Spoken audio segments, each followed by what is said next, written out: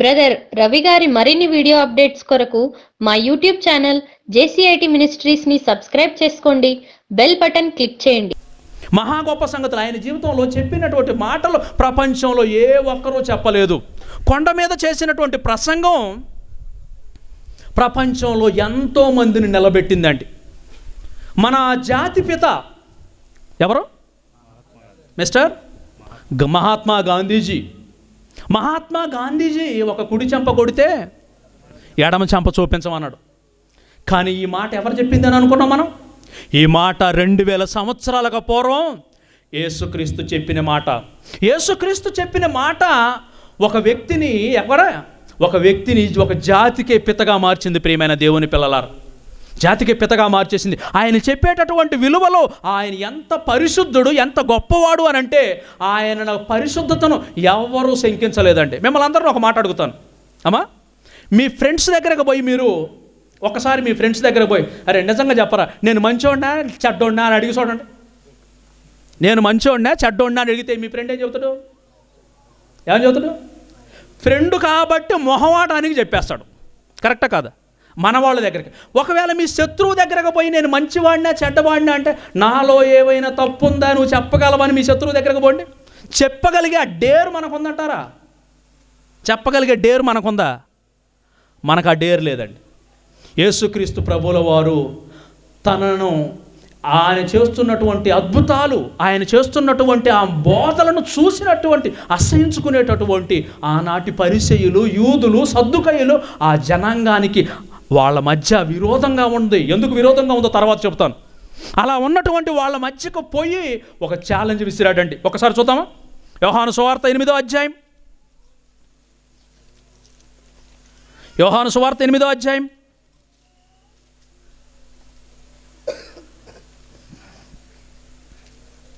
నలభై ఐదో వచనం. నలభై ఐదు నలభై ఆరు చూద్దాం. నలభై ఐదు నలభై ఆరు ప్రియమైన వారు నలభై ఐదు నలభై ఆరు నేను సత్యమనే చెప్పుచున్నాను. కనుక మీరు నన్ను నమ్మరు. ఎవరితో అంటున్నారు?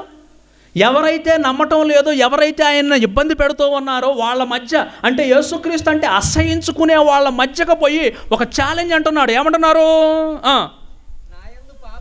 నా యందు పాపం ఉన్నదని మీలో ఎవడు స్థాపించును?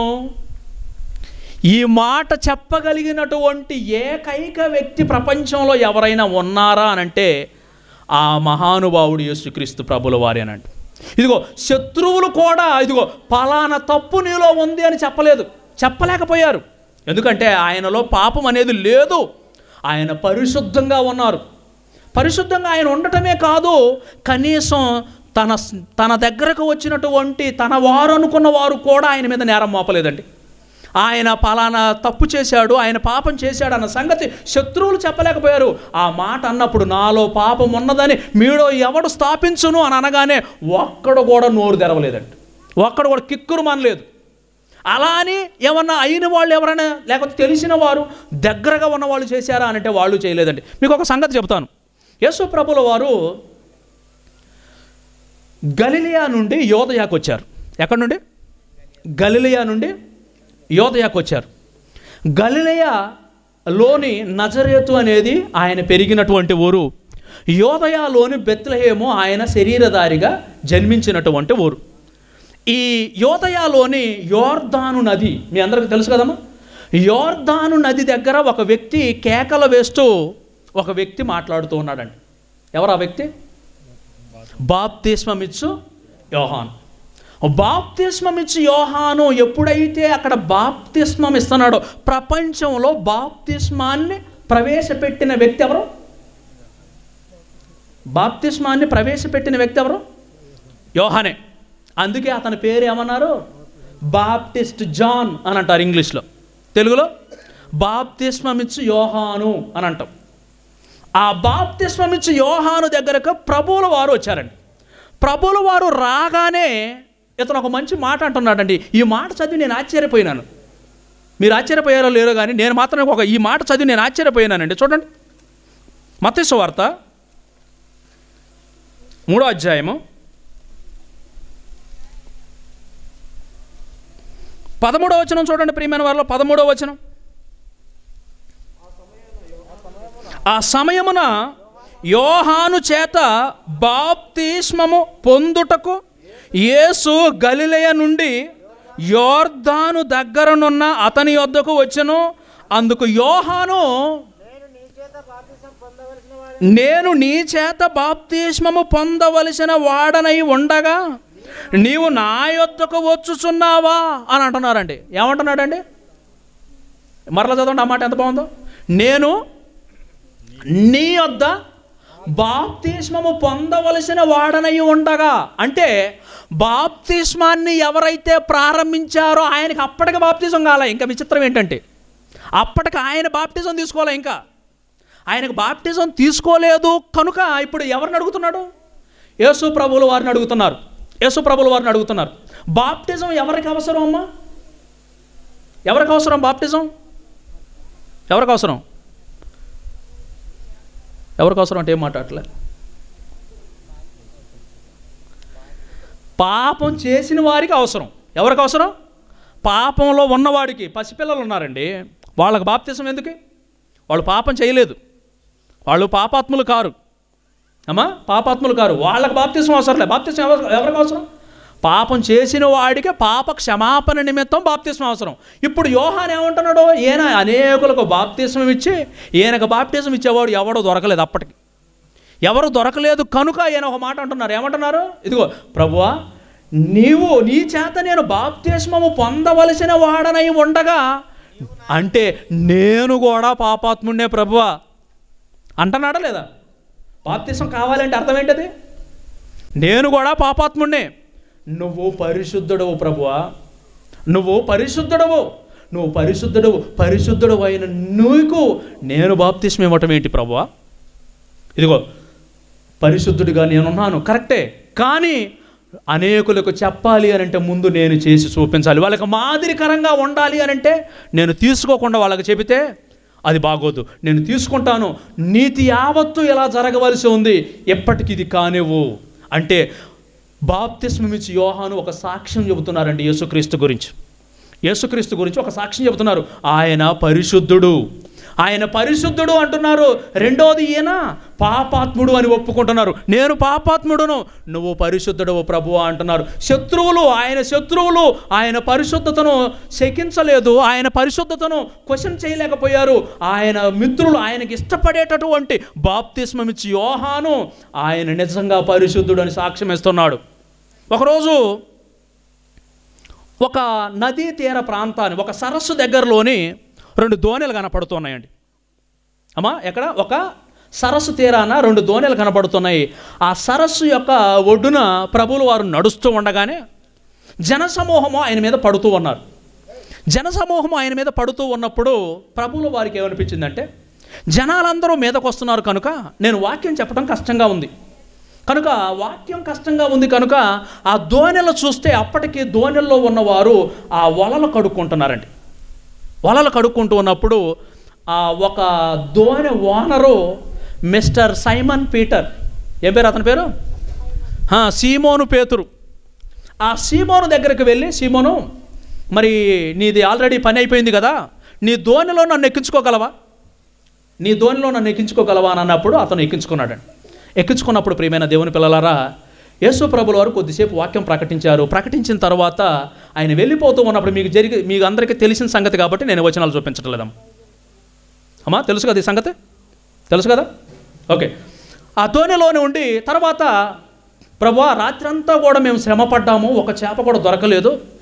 కనుక మీ ప్రసంగం అయిపోయింది మేము ఇంటికి వెళ్ళిపోతాము అని అనుకున్న సమయంలోనే యేసు ప్రభుల వారు ఒక సంగతి చెప్పారు. ఇదిగో ఇప్పుడు లోతునకు మీ దోణెలు నడిపించి ఇప్పుడు వలలు వేసేసేయండి అని ప్రభా రాత్రి అంత చేపలు పట్టేది నేను. చేపల్లో ఎక్స్పీరియన్స్ నాకు. నీకు చేప పట్టే అలవాటు లేదు? చేపలు వలేసిరే అలవాటు అంతకంటే లేదు. ప్రభా నువ్వు చెబితే నేను పోవటం అనుకున్నాడో ఏమో కానీ మొహమాటానికి వెళ్ళిపోయాడండి లోపలికి. మొహమాటానికి వెళ్ళి వలసిరాడు. వలసిరిన తర్వాత ఆ వల నిండా విస్తారంగా చేపలు పడ్డాయండి ఆ చేపలు పడ్డ తర్వాత రెండు దోణెలకు ఫుల్లుగా నింపి పేతురు ఒక మాట అంటున్నాడు. చూడండి. యేసు ప్రభుల వారిని చూసి పేతురు ఒక మాట అంటున్నాడు. లోకాసు వార్త ఐదో అధ్యాయం.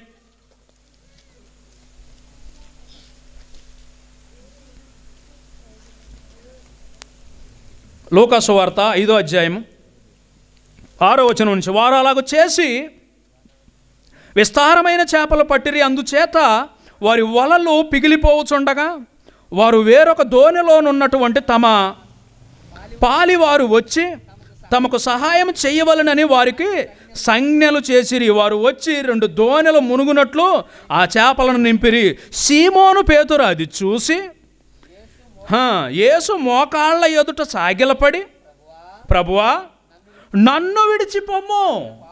నేను పాపాత్ముడను. నేను పాపాత్ముడను ప్రభువా. నువ్వు పరిశుద్ధుడవు ప్రభువా. పరిశుద్ధుడైనటువంటి నీ ఎదుట నేను మోకాళ్ళ మీద నిలవబడటానికి కూడా నేను అనుకుని కాను ప్రభువ.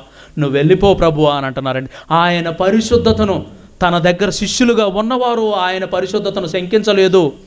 ఆయన శత్రువులుగా ఉన్నవారు ఆయన పరిశుద్ధతను శంకించలేదు. ఎవరు సమాజంలోని ఆయన పరిశుద్ధతను ఎప్పటికీ ఎప్పటికీ ఎన్నటికీ శంకించరు శంకించరో ఎప్పటికీ శంకించలేరు. అంత పరిశుద్ధంగా తన బ్రతుకులో ఆయన తమ జీవితాల్లో అలా పరిశుద్ధంగా గడిపాడు అనేకులను అలా పరిశుద్ధతగా బ్రతకమని చెప్పాడండి. చాలామంది సమాజంలో గొప్ప గొప్ప టీచర్స్ వచ్చారండి. గొప్ప గొప్ప ఏమంటారు సమాజాన్ని బాగు చేసేటటువంటి ఎంతోమంది పెద్దవాళ్ళు వచ్చేసారు సమాజంలోకి.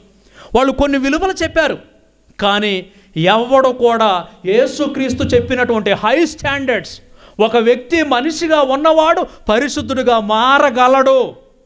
ఒక వ్యక్తి మనిషిగా బ్రతికిన వాడు ఒక మహోన్నతుడిగా మారగలడు అని చెప్పి తను బ్రతికి అనేకులను బ్రతకాలి అని వారి జీవితం యొక్క విలువలను మహా ఉన్నతమైన విలువలు చెప్పినవాడు చూపించినవాడు ప్రేమైన వారు అందుకోసమే ఆయన బోధలు సమాజంలో ఈరోజు ఏమంటున్నారు తెలుసా? ఆయన బోధలో ప్రాక్టికల్గా కుదరదు అని అంటున్నారండి. యేసు ప్రభులు వారు చెప్పినటువంటిది మన దగ్గర సుప్రీంకోర్టు ఉంది. ఈ మధ్యనే ఒక న్యూస్ ఇచ్చింది మీ అందరికీ తెలుసు అనుకుంటున్నాను. సుప్రీంకోర్టు ఏమన్నదంటే అమ్మా adultery is not a crime అని అన్నారండి. అమ్మా వ్యభిచారం అమ్మా వ్యభిచారం ఇష్టమైన శృంగారం అది నేరం కాదు అని అన్నారండి. అమ్మా మీకు అర్థమైందో లేదు? ఇష్టమైన శృంగారం అంటే ఆల్రెడీ ఒక భార్య ఒక భర్త పెళ్ళి చేసుకున్నారు.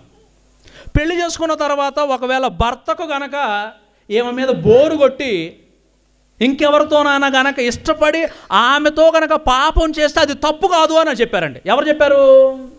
ఈ దేశం యొక్క సుప్రీంకోర్టు చెప్పింది ఈ మధ్యనే. ఇంకెవడన్నా బాగుపడతారా ఇంకే కుటుంబం అన్న బాగుపడిద్దా? అలా చెప్పారో లేదో ఇమీడియట్గా నెక్స్ట్ డేనే ఒక కుటుంబం ఆల్రెడీ బజారుకు వచ్చేసిందండి. నాకేమంటే ఇష్టం లేదు ఆమంటే ఇష్టం ఉంది నేను ఆమెతోనే కలిసి ఉంటాను అని రోడ్డుకి ఎక్కారు ప్రేమైన వాళ్ళు ఈరోజు సమాజంలో ఇంత దారుణమైనటువంటి పాప స్థితిని ఇలా ఎంకరేజ్ చేస్తున్నటువంటి ఈ రోజులలో యేసుక్రీస్తు ప్రభులు వారు సమాజాన్ని సభ్యత నేర్చడం కోసం సమాజానికి ఒక సభ్యత నేర్చడం కో నేర్పడం కోసం ఆయన పలికినటువంటి మాటలు ఇదిగో ఒక స్త్రీని వ్యభిచారం చేయటం ఒక స్త్రీతోని శరీరంతో కలిసి పాపం చేస్తే అది తప్పు అనటం కాదు. ఒక స్త్రీని మోహపు చూపు ఒక స్త్రీని మోహపు చూపుతో చూసేవాడు అప్పటికప్పుడే అప్పుడే అప్పుడే తమ హృదయంలో ఏం చేసినట్టు? ఆమెతో వ్యభిచారం చేస్తున్నారు. ఏమంటే ఈ మాట ఎలా ఉందండి? ఈ మాట చాలా కఠినంగా ఉందా? చాలా సింపుల్గా ఉందా? ఇది మీరు ఒకసారి చెప్పండి. అసలు ఇది ఏమైనా సమాజంలో ఎక్కడైనా సరే ఇది పాసిబుల్ అయిద్దా? ఇది ప్రాక్టికల్గా పాసిబుల్ అయిద్దా? ఇది ప్రాక్టికల్గా ఎప్పుడు పాసిబుల్ అవుతుందో తెలుసా? ఎప్పుడు సాధ్యమవుతుందో తెలుసా? నిత్య జీవితంలో ఎప్పుడు ఎప్పుడు సాధ్యమవుతుందో తెలుసా? నిజంగా నీకు పరలోకం కావాలి. ఇదిగో నరకానికి పోతే శిక్ష ఉంటుంది అన్న భయం నీ గుండెల్లో ఉంటే ఈ పాపం నీ మనస్సులో ఒక స్త్రీని మోహపు చూపుతో చూడవు ప్రియమైన దేవుని పిల్లలారు. యేసుక్రీస్తు ప్రభుల వారు ఆయన తన జీవితంలో ఆ విలువలను పాటించాడు. ఆ మోరల్ వాల్యూస్ ఆయన పాటించాడు. ఆ విలువలను ఆయన పాటించాడు. ఆయన పాటించటమే కాదు ఆయన ప్రకటించాడు కూడా.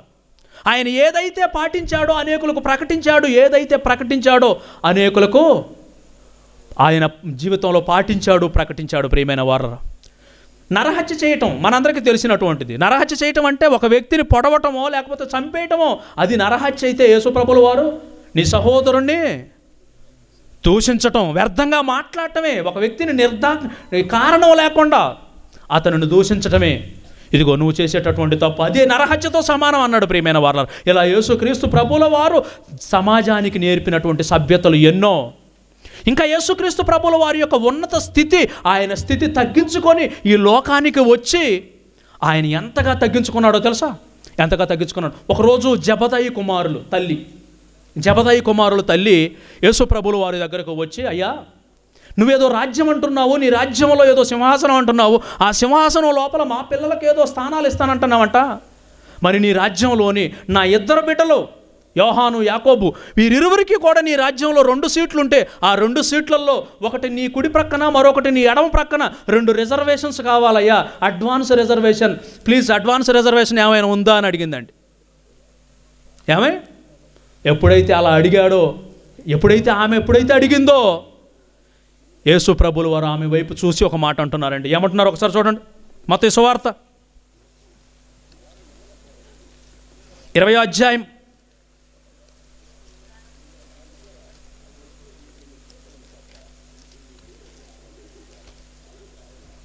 మతేసు వార్త ఇరవై అధ్యాయము.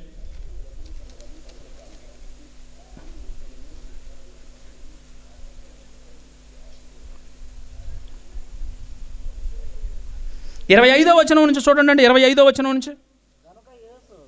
యేసు అన్యజనులలో అధికారులు వారి మీద ప్రభుత్వం చేయుదురనియు వారిలో గొప్పవారు వారి మీద అధికారము చేయుదురనియు మీకు తెలియను. మీలో అలాగూ ఉండకూడదు. మీలో ఎవడు గొప్పవాడై ఉండగోరునో వాడు మీ పరిచారకుడై ఉండవలెను. వాడు మీ పరిచారకుడై ఉండవలెను. సమాజంలో గొప్పవాడిగా ఉండాలి అనుకున్నవాడు అందరికంటే పరిచారకుడిగా ఉండాలి అని ఒక అద్భుతమైన మాట అంటున్నారు. ఏమంటున్నారు? మీలో ఎవడు ముఖ్యుడై ఉండగోరునో వాడు మీ దాసుడై ఉండవలెను. అలాగే మనుష్య కుమారుడు పరిచారము చేయించుకొనుటకు రాలేదు కానీ పరిచారము చేయుటకును అనేకులకు ప్రతిగా విమోచన క్రయధనముగా తన ప్రాణమును పెట్టుటకు వచ్చనని చెప్పాను. నేను మీకు మీ చేత పరిచారము చేయించుకొనుటకు రాలేదు. మీకు పరిచారం చేయడానికే వచ్చేసాను ఆయన జీవితంలో ఏదైతే చెబుతున్నాడో తన జీవితంలో పాటిస్తున్నాడు ప్రేమైన వారు ఇదిగో మీ చేత నేను పరిచారం చేయించుకోనను. ఒక మహా గొప్ప సంగతి అండి. యేసుక్రీస్తు తన జీవితంలోని ఇదిగో శత్రువులను ప్రేమించండి. శత్రువుల కోసం మేము ప్రార్థన చేయండి. హింసించు వారి కొరకు మీరు ప్రార్థన చేయండి అని చెప్పినటువంటి మహానుభావుడు ప్రేమైన దేవుని పిల్లలారా. యేసుక్రీస్తు ప్రభుల వారిని అద్భుతాలు అనేకులకు దగ్గర చేర్చాయి. ఎవరు కూడా ఆయనకు శత్రువు కాలేదు. అక్కడ ఉన్నటువంటి పరిచయులు ఆ రోజు ఉన్నటువంటి ధర్మశాస్త్ర బోధకులు తప్ప. ఇంకా రెండవది ఆయన చూపినటువంటి విలువలు కూడా అనేకులను దగ్గరగానే చేర్చాయి కానీ ఎవరిని కూడా దూరం చేయలేదు ఎవరిని శత్రువులను చేయలేదండి. అయినా కూడా విచిత్రం ఏంటంటే అసలు యేసు ప్రభువుని చంపేటప్పుడు ఎంతమంది వ్యతిరేకంగా మాట్లాడారండి ఆయనకు? ఎంత మంచివాడు కదా యేసు ప్రభు. ఎంత మంచివాడు అని అంటే ఒక సంగతి చెబుతాను మీకు. యేసు ప్రభులు వారిని అప్పగించింది ఎవరండి? చెప్పండి. అమ్మా కొంచెం యాక్టివ్గా ఉండి చెప్తే ఒక్కసారి నవ్వి చెప్పండి అందరూ. దయచేసి. గట్టి చెప్పండి. ఎవరి ముఖంలోనూ కూడా ఏదో ఏమంటారు? నీళ్ళు చల్లి లేపాల్సి వస్తుంది. దయచేసి మాట్లాడండి ఓకేనా? కొద్దిసేపు ఎందుకంటే ఖర్చు పెట్టేసి సహోదరులు రేపు ఒకవేళ ఒక గంట తర్వాత మీరు పిలిచినా నేను రాను ఒకవేళ మీరు వాక్యం చెప్పమన్నా నేను చెప్పను మీ ముఖాలు నాకు కనపడవు నా ముఖాలు మీకు కనపడవు. ఈసారి వచ్చేసరికి మీరు ఉంటారో లేకపోతే అసలు రాకుండా నేను నేను పోతాను ఎవరికి తెలియదు. కాబట్టి కొన్ని మాటలు. యేసు ప్రభువులు వారిని ఎవరు అప్పగించారు? ఇస్కరియోతు యోత అప్పగిస్తారు అన్న సంగతి యేసుప్రభుకు తెలుసా తెలియదా యేసుప్రభుకు తెలుసా తెలియదా తెలుసు. యేసుప్రభుల వారు శిష్యులతో ఏమన్నారు? యేసుప్రభుల వారు శిష్యులతో ఏమన్నారు ఇప్పుడే? జబదాయి కుమారులు తల్లి వచ్చేసినప్పుడు ఏమన్నారు? నేను పరిచారము చేయించుకొనుటకు రాలేదు పరిచారము చేయుటానికే వచ్చేసాను. అనేకులకు ప్రతిగా నా క్రయధనముగా నా ప్రాణాన్ని మీకోసం పెట్టడానికి వచ్చాను అని అన్నారు. ఇస్కరియోతు యోధ తప్పుడు మార్గంలో వెళుతున్నాడు అన్న సంగతి యేసు ప్రభుకు తెలుసు. ఆల్రెడీ యేసు ప్రభుని అమ్మాడు అన్న సంగతి కూడా యేసు ప్రభుకు తెలుసు. ఇలా చేసినా కూడా ఇస్కరియోతు యోధాను ఎప్పుడూ అసహించుకోలేదండి. ఇస్కరియోతు యోధాను ఎప్పుడూ కూడా ఆయన అసహించుకోలేదు. అసహించుకోకపోగా చివరి దినాన చివరి రాత్రి యేసు ప్రభువుల వారితో పాటు ఇక్కడమ్మా ఏం చూస్తున్నారట?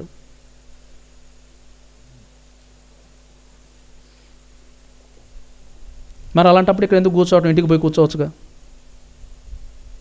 అంటేనేమో ఫీల్ అవుతారు. కొద్దిగా వినండి. మీరు ఆ వాళ్ళ మొఖాలు వీళ్ళ మొఖాలు చూసుకుంటే వాక్యం ఏమర్థమైద్ది మీరు పోతారు ఇస్కర్ యువత యోధ పోయినట్టు. వాడు ఆయన చెప్పిన మాటలు వినలే. ఆ రోజు ఆయన చెబుతుంటే ఇటు చూడటం. ఆయన ఇక్కడ చెబుతుంటే అటు చూడటం. అట చేశాడు. మీరు అదే చేస్తున్నారు. వాళ్ళ చెల్లెలా? యువత యోధ చివరి రాత్రి యేసుక్రీస్తుని ఆల్రెడీ అమ్మేశాడు ముప్పై వెండి నాణ్యాలు తీసుకున్నాడు సంచి దగ్గర పెట్టుకున్నాడు. దగ్గర పెట్టుకున్నటువంటి ఇతను ఆల్రెడీ ప్రభువుకు అర్థమైపోయింది. ప్రభువుకు అర్థమైపోయింది నన్ను చంపేయడానికి ఆల్రెడీ అన్ని రకాలుగా ప్లాన్ ఉంది. అని చెప్పి ఇతను ఎప్పుడు ఏమి తెలియనట్టుగా కడరాత్రి భోజన బల్లలోని వరుసలో వచ్చి కూర్చున్నాడు. బలలో వచ్చి కూర్చున్నాడు. ఒక చిన్న గొడవ అయినప్పుడు ఏదైనా సరే మనందరం సహోదరులుగా ఉన్నాం కదా. చిన్న విషయంలో ఏదైనా సరే మాట మాట పెరిగి ఒకవేళ అరుసుకుంటే సంఘంలో గనక వచ్చి ఒకే లైన్లో కూర్చుంటామా? కూర్చుంటామా? చెప్పాలా? కూర్చుంటామా? పక్కన కూర్చుంటామా? పక్కన వదిలిపెట్టండి. ఆ లైన్లో కూర్చోము పైగా ఒక మాట అనుకుంటాం పెద్ద నంగనాచిలాగా ప్రార్థన చేస్తా ఉంది ఇప్పుడే నాతో గొడవ పడ్డది అని లోపల అనుకుంటాం. నువ్వు ఏ డైలాగ్ అయితే అనుకున్నావో అదే డైలాగు ఆమె కూడా అనుకుంది నీ గురించి. అంతేనా? ఇప్పుడు యేసు ప్రభుల వారు ఆల్రెడీ చనిపోతాను అన్న సంగతి తెలిసిపోయింది. ఇదిగో ఇతనే ఇస్కరియోతు యోధానే నన్ను అప్పగిస్తున్నాడు అన్న సంగతి ఆయనకు అర్థమైపోయింది. బల్లలోకి వచ్చి కూర్చున్నాడు. బల్లలోకి వచ్చి కూర్చున్న తరువాత వారికి తన్ను తాను ఎంతగా తగ్గించుకుంటున్నాడు అంటే ప్రియమైన వాళ్ళారా ఒక పాత్రను తీసుకున్నాడండి ఇప్పుడు. పాత్రను తీసుకొని ఇప్పుడు ఒక్కొక్కరి పాదాలు కడగాలి. యేసుక్రీస్తు కంటే వీళ్ళు గొప్పవాళ్ళ? యేసుక్రీస్తు కంటే వీళ్ళు తక్కువ వాళ్ళ చాలా తక్కువ వాళ్ళు. ఆయన చేసిన అద్భుతాలను కళ్ళారా చూసినవారు. సముద్రాన్ని గద్దించినవాడు శవాలను లేపినవాడు రోగాలను విడిచిన అంతేనా? రోగాలను వదిలించినవాడు దయ్యాలను వెళ్ళగొట్టినవాడు అనేకులకు ఆహారం పంచినవాడు. ఎందరో వేల మంది అనుచరులను కలిగిన వాడు ఎంతమంది ఈయన వెనక ఉంటే ఈ నాయకుడు వచ్చి ఆ శిష్యులందరినీ బల్ల మీద కూర్చోబెట్టి వాళ్ళ దగ్గరకు వచ్చేసేసి ఈ పాత్రను పట్టుకొని ఒక్కొక్క శిష్యుని పాదాలు తీసి ఆ పాత్రలో పెడుతున్నాడండి. ఏంటండి తగ్గింపు? ఎవరిచ్చారండి ఈయనకి ఈ మంచి మనస్సు? ఈ మంచి మనస్సు ఆ శిష్యుల దగ్గర ఎందుకు తగ్గించుకుంటున్నాడు ప్రియమైన దేవుని పిల్లలారు? ఆలోచించాలి. ఈ లైన్లో ఎవరున్నారు? పదకొండు మంది ఈయనకు అనుకూలం అనుకున్న అనుకూలంగా ఉన్నవాడి కాళ్ళు గడగటం వేరు. అనుకూలంగా లేని శత్రువు కాళ్ళు గడగటం వేరు. కరెక్టా కదా? ఎవరైనా కాళ్ళు కడుగుతారా? గొడవ పడి జుట్టు పట్టుకొని కొట్టుకొని గంట తర్వాత పోయి ఆమె కాళ్ళు కడుగుతావు నువ్వు? కాళ్ళు పట్టుకొని లాగైనా చంపేస్తావు ఇప్పుడు యేసుక్రీస్తు అదే పాదాలు పట్టుకుని ఎంత డేర్ ఉండాలండి? ఒక శత్రువు పాదాలు పట్టు శత్రువుకి షేక్ హ్యాండ్ ఇవ్వాలంటేనే డేర్ ఉండాలి. ఎంత ధైర్యవంతుడండి యేసుక్రీస్తు. ఇదిగో ఇస్కరియోతు యోధా దగ్గరకు వెళ్ళి పాదాలు పట్టుకొని అంతగా తగ్గించుకున్నటువంటి గొప్ప మనసు ప్రియమైన వారు. ఎంత మంచి చేశాడు కదా? ఎంత మంచి పనులు చేశాడు కదా? అనేకులకు మేలు చేశాడు కదా? ఎన్నో కుటుంబాలలో వెలుగులు ఎన్నో కుటుంబాలలో సంతోషాన్ని నింపి ఎందరికో మహానుభావుడిగా నిలిచినటువంటి యేసుక్రీస్తు అసలు యేసుక్రీస్తుని ఎవరికి చంపాలనిపించేసిందండి? అసలు ఎందుకు చంపాలనిపించేసింది? ఒకవేళ చంపాలనిపించేసినప్పుడు ఏ రీజన్తో చంపారు? అసలు ఏ రీజన్తో అతను చంపారు అని జాగ్రత్తగా గమనిస్తే ఇదిగో మొదటిది ఆయన అద్భుతాలు ఆయన మరణానికి దారి తీయలేదు. రెండోది ఆయన మొరాలిటీ ఆయన పరిశుద్ధత ఆయన మరణానికి దారి తీయలేదు. కానీ ఆయన మెసేజెస్ ఆయన ఉపన్యాసాలు ఆయన ప్రసంగాలు ఆయన మరణానికి దారి తీశాయండి. కామన్గా మనం మన మనుషులలోనే రెండు రకాల ఇద్దరు రెండు రకాల మనుషులు ఉంటారండి జనరల్గా మనలోని. ఒకళ్ళు ఏంటంటే సెల్ఫ్ డబ్బా అంటారు చూసారా ఎప్పుడు చూసినా వాళ్ళ గురించే గొప్ప చెప్పుకుంటారు. ఇక్కడికి వచ్చి ఒక గంట సేపు నేను మాది బెంగళూరు నేను ఎవరు అనుకుంటున్నారు? నేను సాఫ్ట్వేర్ ఇంజనీరు అని మీకు చెబుతా ఉన్నాను అనుకోండి ఒక అర్ధ గంట సేపు. మీరేమనుకుంటారు? మీకు మీకేమైనా ఫీలింగ్ వచ్చింది చెప్పండి. ఏమనుకుంటారు మీరు? ఓరి నీ డబ్బా ఆపి నువ్వు ఎందుకు వచ్చినావు అది చెప్పాను అంటుంటారు. ఒక వ్యక్తి తన గురించి తాను చెప్పుకుంటే ఇతరులు అంగీకరించరు. అంగీకరిస్తారా? అంగీకరించరు. కానీ ఒక వ్యక్తి ఇతరుల గురించి చెబితే అంగీకరిస్తారండి నేను మీ గురించి చెప్పిన అనుకోండి అబ్బా ఆ అక్క ఎంత మంచిదో అంత గొప్ప విశ్వాసి ఈ సంఘంలోనే లేదు అని అనుకోండి చాలా హ్యాపీగా ఉంటుంది. ఒక వ్యక్తి తన గురించి తాను చెప్పుకుంటే ఇతరులకు నచ్చదు కానీ ప్రపంచంలో ఒక వ్యక్తి తన గురించి తాను చెప్పుకున్నా కూడా ఒక వ్యక్తి తన గురించి తాను చెప్పుకున్నా కూడా ఇతరులకు బోరు కొట్టకుండా అనేక కొన్ని రోజులు కొన్ని నెలలు కొన్ని సంవత్సరాలు తన గురించి తాను మాట్లాడుకున్నాడు. ఏమండి ఇక్కడ మనం ఎంతమంది ఉన్నాం. సడన్గా ఒక మెకానిక్ సడన్గా వచ్చి సడన్గా ఒక ఒక మెకానిక్ వచ్చి నేనే మీ దేవుణ్ణి అని అన్నాడు అనుకోండి. అంటే మీ ఫీలింగ్ ఏంటి?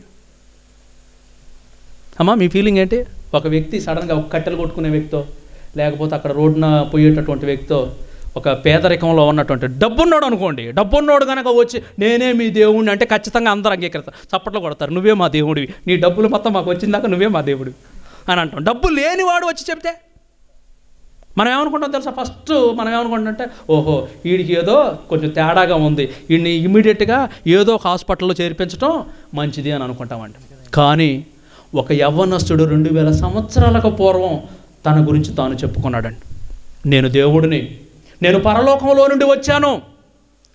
నేను మీకు రక్షణనిచ్చేటటువంటి ఏకైక మార్గం నేనే అని తన గురించి తాను చెప్పుకున్నాడు. ఆ రోజు సమాజం ఎంతమంది ఆయన్ని అంగీకరించిందో లేదో కానీ ఈరోజు రెండు వేల సంవత్సరాల తర్వాత ఇప్పుడు సమాజంలో ప్రపంచంలోని కొన్ని వందల వేల లక్షల కోట్ల మంది మనుషులు ఆయనని ఎప్పటికీ తమ ఆరాధ్య దైవంగా కొలుస్తూనే ఉన్నారు. ఎప్పటికీ ఆయన కొలుస్తూనే ఉంటుంటారు. ఈరోజు ఆయన పేరు తెలియనటువంటి గ్రామం లేదు. ఆయన పేరు వినబడనటువంటి మనిషి లేడు. ఆ మహానుభావుడు యేసుక్రీస్తు ప్రభుల వారు ఆ యేసుక్రీస్తు ప్రభుల వారు తాను చేసినటువంటి ప్రసంగాలలోని అసలు మరణానికి దారి తీసినటువంటి ప్రసంగాలు ఏంటి అని జాగ్రత్తగా గమనిస్తే యేసుక్రీస్తు యోధా గోత్రంలోని యోధా గోత్రంలోని ఆ ఇజ్రాయేలీల మధ్యకు వచ్చినటువంటి యోధా గోత్రపు సింహము అని అంటాం మనం. అక్కడికి వచ్చి యేసు ప్రభులో మాట్లాడినటువంటి ప్రతి మాట తన గురించి తాను ఎక్కువగా చెప్పుకున్నాడండి మీరు గమనించారో లేదు కానీ నేను బైబిల్ చదువుతున్నప్పుడు నాకు అనిపించింది. యేసుక్రీస్తు ఇతరుల గురించి చెప్పడం కంటే తన గురించి తాను ఎక్కువగా చెప్పుకున్న సందర్భాలు ఉన్నాయి. అలా చెప్పుకుంటూ ఉన్నప్పుడు వాళ్ళందరూ కూడా చాలా క్లీన్గా గమనిస్తూ ఉన్నారండి ఒకరోజు ఒక పక్షవాయువు కలిగినటువంటి ఒక వ్యక్తిని యేసుప్రభుల వారి దగ్గరికి తీసుకొస్తే యేసుప్రభుల వారు ఒక మాట అన్నారండి. చూడండి యేసుప్రభుల వారు ఏమన్నారు? మార్కు సువార్త రెండో అధ్యాయంలో మార్కు సువార్త రెండో అధ్యాయము. మొదటి వచనం నుంచి చకచక చదువుతాం. కొన్ని దినములైన పిమ్మట ఆయన మరలా కపర్ణహోములోనికి వచ్చను. ఆయన ఇంట ఉన్నాడని వినవచ్చినప్పుడు అనేకులు కూడి వచ్చిరి కనుక వాకిటనైనను వారికి స్థలము లేకపోయెను. ఆయన వారికి వాక్యము బోధించుచుండగా కొందరు పక్షవాయువు గల ఒక మనుష్యుణ్ణి నలుగురు చేత మోయించుకొని ఆయన యొద్దకు తీసుకొని వచ్చిరి. చాలామంది కూడి ఉన్నందున వారు ఆయన యొద్దకు చేరలేక ఆయన ఉన్న చోటికి పైగా ఇంటి కప్పు విప్పి సందు చేసి పక్షగాయు వాయువు గలవాణిని పరుపుతోనే దింపిరి యేసు వారి విశ్వాసము చూసి అనే మాట ఉందండి. చాలాసార్లు చదివారు మీరు. ఇప్పుడు పక్షవాయువు గలవాడిని ఇంటికి కప్పు తీసేసేసి దించేశారు డైరెక్ట్గా. యేసు ప్రభు ఎదురుగా వచ్చేసి ఆ బాడీ వచ్చేసి కనపడుతుంది. ఇప్పుడు యేసు ప్రభులు వారి దగ్గరికి ఎందుకు తీసుకొచ్చారు ఆ పక్షవాయువు గలవాడిని? పెరాలసిస్. అతన్ని ఎందుకు తీసుకొచ్చేసారు ఆ రోగాన్ని తగ్గిస్తాడేమో అని చేసేవారండి. ఇప్పుడు యేసు ప్రభులు వారు ఏమంటున్నారు చూడండి. యేసు ప్రభులు వారు ఏమంటున్నారు? యేసు వారి విశ్వాసమును చూసి కుమారుడా నీ పాపములు క్షమించబడి ఉన్నవని పక్షవాయువు గలవానితో చెప్పగా అనే మాట ఉందండి. ఇప్పుడు యేసుప్రభులు వారు ఏమంటున్నారు? నీ పాపాలు క్షమించబడ్డాయి. మీరు ఎంతమంది వచ్చేసారు. నేనే అనను అనుకోండి మీ మధ్యకు వచ్చేసి. సిస్టర్ నీ పాపాలు నేనే క్షమిస్తున్నా అని అనను అనుకోండి. మీ ఫీలింగ్ ఏంది? ఈడే ఒక దరిద్రుడు. ఈడు నా పాపాలు క్షమించడం ఏంటి? అని నీ ఫీలింగ్ అంతే కదా? అవునా కదా? మీరు అన్నారు అనుకోండి నా దగ్గరికి వచ్చి బ్రదర్ నీ పాపాలు క్షమిస్తాను అనుకో నా ఫీలింగ్ ఏంటో తెలుసా? నువ్వే ఒక దరిద్రాలివి నువ్వు వచ్చి నా పాపాలు క్షమిస్తావా? అనుకుంటావు ఇప్పుడు యేసు ప్రభులు వారు దేనిలో ఉన్నారు? శరీరంలో ఉన్నారు. ఆయనకి రెండు చేతులు రెండు కాళ్ళు రెండు కాళ్ళు మనలాగే శరీరం ఆయనకి ఉంది. ఆయన చెప్పిన మాట ఏంటో తెలుసా?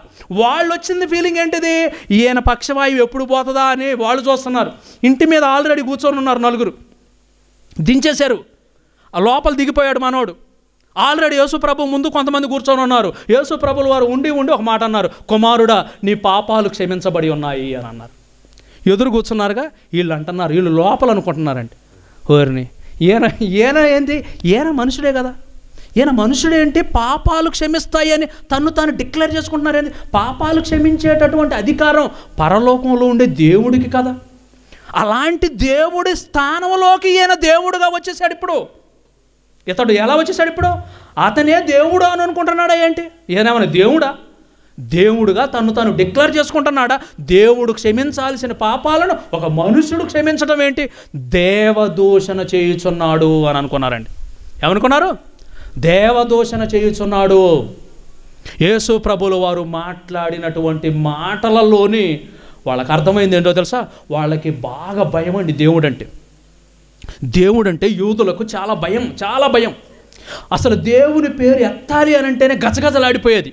అందుకే కీర్తనల గ్రంథంలో చూస్తే మీరు అనేక సందర్భాల్లో సైన్యములకు అధిపతి యొక్క యహోవా మహోన్నతుడైన దేవా చాలా గొప్పగా వర్ణిస్తూ రాయబడినటువంటి మాటలు ఉంటాయి ఎవరు కూడా ఎవరు కూడా దేవుడి పేరు ఎత్తాలంటే గడగడలాడిపోయేవాళ్ళండి. ఎవరు?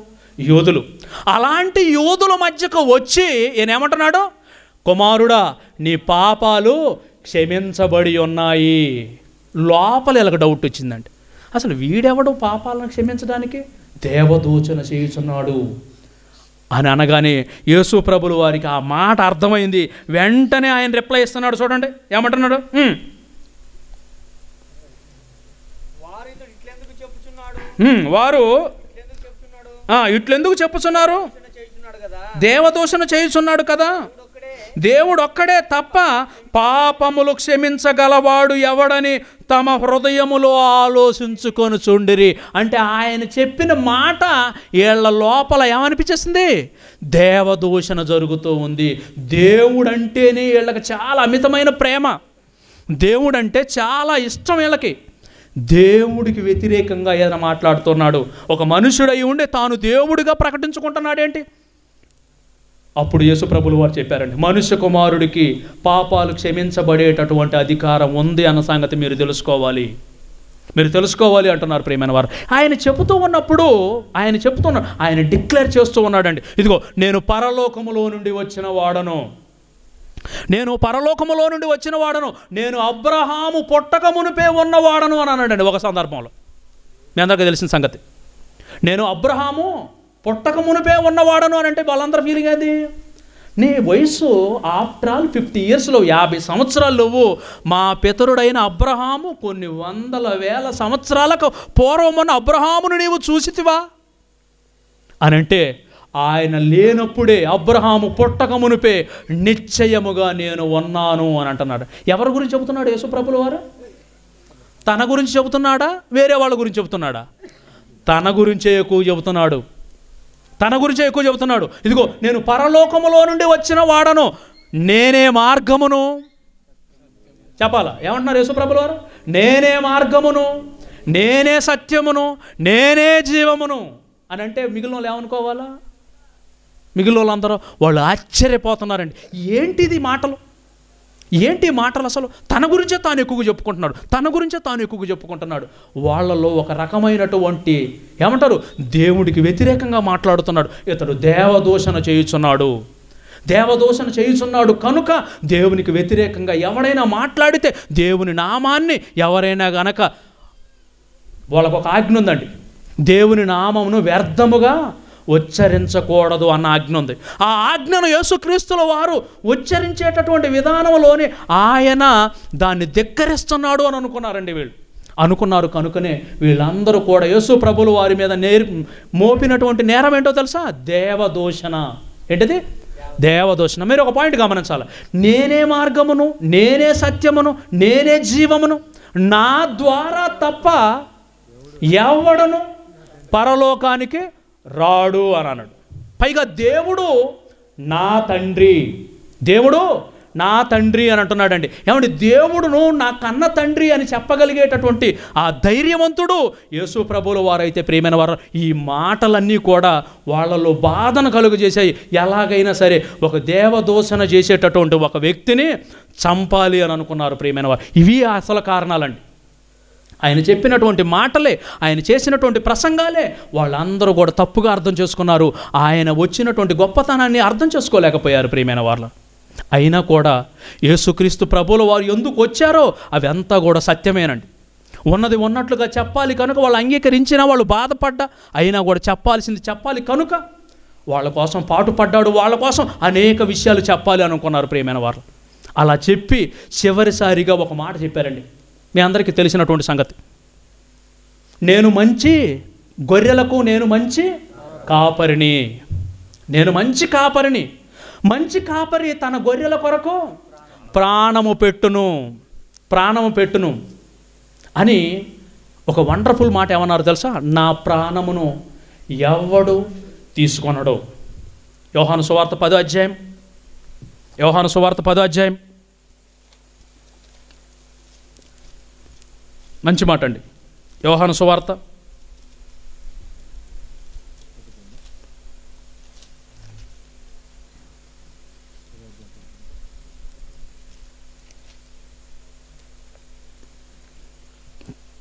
పద్దెనిమిదో వచనం చూద్దాం. పద్దెనిమిదో వచనం.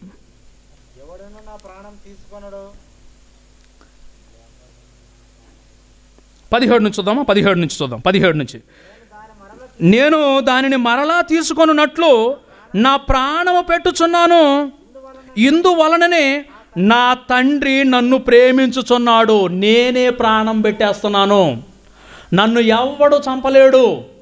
నన్ను ఎవరు చంపలేరు. నా ప్రాణాన్ని నే అంతటి నేనే పెట్టాలి తప్ప ఎవరు నన్ను చంపలేరు అని ఒక మంచి మాట అంటున్నారండి. ఏమంటున్నారు?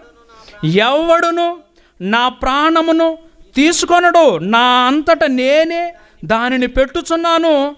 దానిని పెట్టుటకు నాకు అధికారము కలదు. దానిని తిరిగి తీసుకొనుటకు నాకు అధికారము కలదు. నా తండ్రి వలన ఈ ఆజ్ఞ పొందితిని అని అన్నారండి. యేసు ప్రభుల వారు తన ప్రాణాన్ని ఎవరు తీయలేదా? లేకపోతే యేసు ప్రభుల వారే తన ప్రాణాన్ని పెట్టారా? యేసు ప్రభుల వారు తన ప్రాణాన్ని తానే పెట్టారండి. తాను పెరిగినటువంటి నజరేతులో ఒకరోజు వాక్యం చదివారు. ఒకరోజు వాక్యం చదివి ఆ వాక్యం యశ్యా గ్రంథంలో చెప్పబడినటువంటి ఆ వచనాలన్నీ చదివి అక్కడ ఉన్నటువంటి వాళ్ళందరికీ కూడా ఒక మాట చెప్పారు. అక్కడ ఉన్నటువంటి వాళ్ళందరికీ కూడా నేడు మీ వినికిడిలో విన్నటువంటి ఈ వాక్యము మీ అందరి మధ్య నెరవేరింది. మీ వినికిడిలో యశ్యా కొన్ని వందల వేల సంవత్సరాలకు పూర్వం చెప్పబడినటువంటి ఆ ప్రవచనం ఈరోజు నెరవేరింది. మీ మెస్సయ్యను నేనే అని చెబుతున్నాడండి. మెస్సయ్యను నేనే అని చెప్పగానే ముప్పై సంవత్సరాల వరకు కూడా యేసు అంటే ఆ గ్రామంలో అందరికీ ఇష్టమే. యేసుక్రీస్తుల వారు అని అంటే ఆ గ్రామంలో అందరికీ ఇష్టమే. ఆయన రోజు పనికి వెళ్ళటం చూసిన వాళ్ళే రోజు ఆయన పలకరించే వాళ్ళే. ఆ మహానుభావుడు వచ్చి వాక్యం చదివిన వెంటనే ఎప్పుడైతే ప్రవచనం నెరవేరింది అని చెప్పారో వీళ్ళందరూ కూడా ఆయన వైపుకు చూసేసి వెంటనే అతన్ని రాళ్ళతో కొట్టి అదే రోజున అదే ఊర్లో చంపాలనుకున్నారండి. కారణం కారణం తన్ను తాను ఏమని డిక్లేర్ చేసుకున్నాడు? నేనే మీ మెస్సయ్యను. నేనే మీకు రక్షకుడను అని ఆయన ఎప్పుడైతే డిక్లేర్ చేసుకున్నారో ప్రేమైన వార్లరా అప్పుడు చంపాలి అని అనుకున్నారు. ఆ రోజు చంపాలని అనేక సార్లు ప్రయత్నం చేశారు. మొదటి ప్రయత్నం అది. కానీ యేసు ప్రభుల వారు ఆ రోజు వాళ్ళకు దొరకలేదండి. ఆ చంపాలనుకున్నటువంటి ఆ జనాంగం మధ్యలో నుంచి తన్ను తాను తప్పించుకొని ఆ మార్గం గుండా నెమ్మదిగా వెళ్ళిపోయారు ప్రేమైన వారు అలా ఐదు సార్లు అప్పటికే తప్పించుకున్నారు. యేసుక్రీస్తు ప్రభుల వారు యేసుక్రీస్తు ప్రభుల వారు అనేక సార్లు వాళ్ళు చంపాలనుకున్నప్పుడు ఆయన చచ్చిపోలేదు. కానీ కానీ ఆయన మరణించాలి అని అనుకున్నప్పుడే ఆయన మరణించడానికి సిద్ధమైపోయాడు. కారణం నా ప్రాణాన్ని నేనే పెట్టాలి కానీ నా ప్రాణాన్ని ఎవడో తీసుకోలేడు నా అంతటా నేనే పెట్టేస్తాను ఈ ప్రాణాన్ని. అందుకే శిష్యులతో ఒక మాట చెప్పాడండి. ఇదిగో రేపు ఎరుసలేమునకు మనం వెళ్ళబోతున్నాము. ఎరుసలేముకు వెళ్ళిన తర్వాత మనుష్య కుమారుడు పాపుల చేతికి అప్పగింపబడతాడు. వాళ్ళు ముఖాన ఉమ్మి వేసి కొరడాలతో కొట్టి అరిచేతిలో శిలలు దించి నన్ను చంపేస్తారు అని ముందుగానే చెప్పి అక్కడికి నడిచి వెళ్ళిన తరువాత తన్ను తానుగా ఆ పరిచయలకు దొరికిపోయాడే కానీ ఎవరు కూడా ఆయనను పట్టించుకోలేదు ప్రేమ. ఎవరు కూడా ఆయనను పట్టుకోలేదు ప్రియమైన దేవుని పిల్లల. కారణం ఇదంతా కూడా ఆయన తెలిసి తెలిసి మన కోసం చేస్తున్నటువంటి త్యాగమే. ఆయన చెప్పినటువంటి మాటలు ఆయన జీవితంలో అద్భుతాలు అనేకులను దగ్గర చేశాయి. ఆయన జీవితంలో నేర్పినటువంటి విలువలు అనేకులను దగ్గర చేశాయి. కానీ ఆయన మాటలు ఆయన చెప్పినటువంటి మాటలు ఆ రోజున్న సమాజంలో ఉన్నవారు దేవదూషణ చేస్తున్నారు అనుకున్నారు. అనేకులు ఆయన అపార్థం చేసుకున్నారు. కానీ ఈరోజు సమాజంలో ఉన్నవారు ఆయన విలువేంటో తెలుసుకుంటున్నారండి. ఆయన విలువేంటో ఈరోజు సమాజంలో ఉన్నవారు తెలుసుకుంటున్నారు ప్రియమైన దేవుని పిల్లలారు. అలా సిలువలోనికి ఎక్కినటువంటి యేసుక్రీస్తు ఉదయం తొమ్మిది గంటలకు సిలువ ఎక్కారండి. మీ అందరికీ తెలిసినటువంటి మార్కు సువార్త పదిహేను అధ్యాయం ఇరవై ఐదో వచ్చిన చూడండి ఒకసారి. మార్కు సువార్త మార్కు సువార్త ఇరవై ఐదో అధ్యాయము. సారీ పది ఐదో అధ్యాయము ఇరవై ఐదో వచనం. క్షమించండి అమ్మ. మార్కు సువార్త పదిహేనో అధ్యాయము ఇరవై ఐదో వచనం. ఆయనను సిలువ వేసినప్పుడు పగలు ఎన్ని గంటలైంది అంటమ్మా తొమ్మిది గంటలైన పగలు తొమ్మిది గంటలైన పగలు తొమ్మిది గంటలైన. మీకు ఒక విషయం చెప్తానండి ఒక వ్యక్తి సిలువలో కొట్టిన తర్వాత సిలువలో కొట్టడం అంటే ఆల్రెడీ యేసుక్రీస్తుకి తలపైన ముండ్ల కిరీటం ఉంది. తలపైన ఒక ముండ్ల కిరీటం ఉంది. అరిచేతులో శిలలు దించారు. అరికాళ్ళల్లో శిలలు దించారు. ఇప్పుడు మీరు బాగా గమనించాలండి. ఒక బరువైనటువంటి మ్రాను పైన అరిచేతుల్లో శిలలు కొట్టి అరికాళ్ళలో శిలలు కొట్టి తలపైన ముండ్ల కిరీటం పెట్టి తొమ్మిది గంటలకు ఆ మ్రాను పైన ఈ ఎండలో అలా నిలవబెట్టారండి ఆ ఎరుసలేము పట్టణం యొక్క ప్రాకారం వెలుపట కొండ మీద. అలా ఉంచినప్పుడు సామాన్యంగా అసలు ఒక వ్యక్తికి ఒక వ్యక్తికి శిలువ శిక్ష అనేది ఆ రోజులలో రోమన్ చక్రవర్తులు ఎవరు కూడా వేసేవాళ్ళు కాదు. అక్కడ ఉన్నటువంటి యూదులందరూ కూడా ఈయన మీద కక్షగట్టి ఈ ప్రధాన యాజకులు పరిచయులు అందరూ కూడా ఆ రోజు ఉన్నటువంటి గవర్నర్ దగ్గరికి వెళ్ళి యేసుక్రీస్తుకు వ్యతిరేకంగా కంప్లైంట్ చేశారండి ఏమని కంప్లైంట్ అని అంటే ఇతడు దేవదూషణ చేయిస్తున్నాడు. ఇతడు దేవుడు నన్ను చెప్పుకుంటున్నాడు. ఇతను దేవదూషణ చేయిస్తున్నాడు అని చెప్పగానే పిలాతు ఏమన్నాడు తెలుసా? దేవదూషణ మీ మతానికి సంబంధించింది. ఇలాంటి వాటికి మా దగ్గర శిక్ష పడదు. శిక్ష మేము వెయ్యం.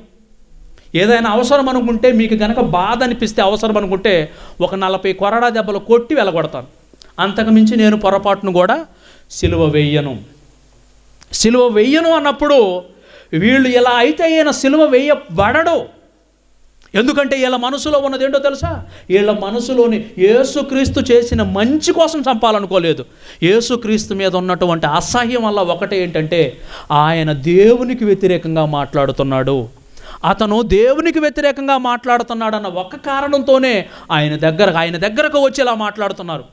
ఇదిగో పిలాతు ఆ గవర్నరు చెప్పినటువంటి ఈ పాయింట్లను ఆయన లెక్కలోకి తీసుకోకుండా దేవదోషణ అన్నటువంటి ఆ ఆలోచన మీద అతను చంపే ఆలోచనలో లేదు కనుక పైగా ఈ పిలాతు యేసుక్రీస్తుకు అనుకూలంగా ఉన్నాడు. ఇదిగో ఒక పండగ ఉంది. ఈ పండగ దినాన ఒక ఖైదీని విడుదల చేసే అధికారం నాకుంది. ఈ యేసుని విడుదల చేస్తాను. మీరు అనుకున్నట్టు ఇంకెవరిని విడుదల చేయను. మీరు ఎక్కడి నుంచి వెళ్ళిపోండి అని అన్నారు. కానీ వాళ్ళ మనసులో ఎలా ఉంది? మా దేవుణ్ణి అంటారా? మా దేవుణ్ణి సింగులర్ వచనంతో నీకు తండ్రి అంటావా? ఆ దేవుడు క్షమించాల్సిన పాపాలను నువ్వు క్షమిస్తావా? ఆ దేవుణ్ణి చేరాలంటే నువ్వే మార్గమా? మా అందరి పాపాల కోసం నీ రక్తం అవసరమా? దేవుడు ఏదైనా చూపించాలి కానీ నీ రక్తం ఏంటి అవసరం? మాకు నిత్య జీవం కావాలంటే నీ శరీరాన్ని మేము తినాలా? నీ రక్తాన్ని మేము త్రాగాలా? అపార్థం చేసుకున్నారండి ఆయన మాటలు. ఆయన ప్రసంగాలు అపార్థం చేసుకున్నారు ప్రియమైన వారు. అలా అపార్థం చేసుకొని కేసల్లా ఎక్కడికి వెళ్ళిపోయింది ఇప్పుడు? పిలాతు ఎదుటికి వెళ్ళగానే పిలాతు దగ్గరికి వెళ్ళిన తర్వాత నలభై కొరడా దెబ్బలు కొట్టించి పంపించేద్దాం అనుకున్నాడండి. వీళ్ళు ఏం చేయాలో అర్థం కావటం లేదు. ఎలాగైనా సరే దేవుడికి వ్యతిరేకంగా మాట్లాడిన వాళ్ళని రాళ్ళతో కొట్టి చంపేటటువంటి అధికారం ఉంది. కానీ వీళ్ళు స్వతంత్రంగా వీళ్ళు లేరు. వీళ్ళు రోమా చక్రవర్తుల పరిపాలనలో ఉన్నారు కనుక అది ధైర్యం చేయటం లేదు వీళ్ళు. కాబట్టి ఇప్పుడు ఆ దేవదూషణ అన్న నేరాన్ని మార్చేస్తూ ఉన్నారండి. దేవదూషణ అన్న రీజన్ని మార్చి పిలాతుకు ఇంకొక మాట చెబుతున్నారు. ఇదిగో ఇతను యూదులకు రాజు అని చెప్పడం మేము విన్నాము. ఇతను ఏమని చెప్పడం? యూదులకు రాజు అని చెప్పడం మేము విన్నాము. ఇప్పటి వరకు రోమియులందరికీ ఈ రోమా చక్రవర్తిలో ఉన్నటువంటి అందరికీ ఒక్కడే రాజు. ఆ ఒక్కడు సీజర్ చక్రవర్తి. అతడు ఒక్కడే మనకు రాజు కదా. ఈయన ఈ రోజు నుండి ఏమంటున్నాడు తెలుసా? యూదులకు రాజు ఏనా అని మాకు చెప్పాడు. అది మేము విన్నాము. ఇది ఒక రాజ్యానికి ఒక దేశానికి వ్యతిరేకంగా మాట్లాడేటటువంటి మాట. ఇది రాజద్రోహం. రాజద్రోహం కనుక రాజుకు వ్యతిరేకంగా మాట్లాడాడు కనుక ఇప్పుడు సిలువ శిక్ష వేయండి అని అన్నారు. ఇప్పుడు పిలాతు ఏం చేయాలి చెప్పండి ఇప్పుడు? దేవదూషణ అన్న మాటతోని కేసు కొట్టేశాడు. కానీ రాజదూషణ రాజ్యాధికారం రాజుకు వ్యతిరేకమైనటువంటి పదజాలం అని అనగానే రాజ్య ధిక్కరణ అనగానే పిలాతు నోరు మూసుకుపోయిందండి. ఏం చేయాలో అర్థం కావట్లేదు నలభై దెబ్బలు కొట్టించినా ఇలా మనసు మారలేదు. మరి ఇప్పుడు ఏం చేయించాలి చెప్పండి? అప్పుడు వాళ్ళ భార్య వచ్చి రిక్వెస్ట్ చేసింది అయ్యా ఇతను నిజంగా నీతిమంతుడే. నా కళ్ళకు వచ్చేసాడు. అతను నిజంగా నీతిమంతుడే. అతని విషయంలో నువ్వు ఎప్పుడు కూడా తప్పు చేయకు. పాపం చేయకు. ఆ దోషం మన మీద కొద్దు అతను విడిపించు. శత విధాల ప్రయత్నం చేశాడండి పిలాత్. కానీ వీళ్ళ మనసులో మాత్రం దేవదోషణ చేసిన వాడు మరణానికి అవసరం అని అనుకున్నారు. చూసారా ఆయన అంతటా ఆయనే తనను తాను ఎలా అప్పగించేసుకున్నాడు? తన తానే ఎవడో చెబితే కాదు తనంతట తానుగా నడిచాడు. రాత్రి కడుపు నిండా భోజనం చేశాడు. చక్కగా మంచి మాంసంతో భోజనం చేశాడు. చక్కగా అక్కడికి వెళ్ళిపోయాడు. ఎందుకంటే తెల్లవారి సెలవు మోయాలి కాబట్టి కడుపు నిండా తినాలి పుష్టికరంగా ఉండాలి అనుకున్నాడు. యవన ప్రాయంలో ఉన్నాడు. బరువైనటువంటి సిలువను మొయ్యాలనుకున్నాడు తనకు తానుగా ఎరుశలేముకు నడిచిపోయాడు. అంతకుముందు ఎవరు చంపాలనుకున్న ఆ ప్రాంతాల నుండి తప్పుకున్నటువంటి ఆ ప్రభువు మరణ గడియలకు సమీపించగానే నేను వచ్చినటువంటి కార్యక్రమం అయిపోయింది. సమాజానికి చెప్పాలనుకున్నటువంటి మాటలు అయిపోయినాయి. కనుక ఇదిగో నా మరణం ఇప్పుడు అవసరం. నేనే పెట్టాలనుకుంటున్నాను. కాబట్టి నేనే వెళ్ళిపోతాను అనుకున్నాడు. వెళ్ళిపోయాడు.